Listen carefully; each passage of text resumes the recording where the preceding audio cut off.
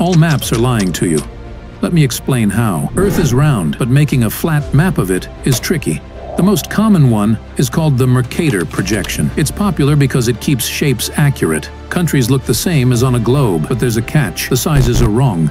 Greenland seems as big as Africa, but it's actually much smaller, over 14 times. On the Mercator map, things near the top or bottom look bigger than they are. That's how maps can be deceiving.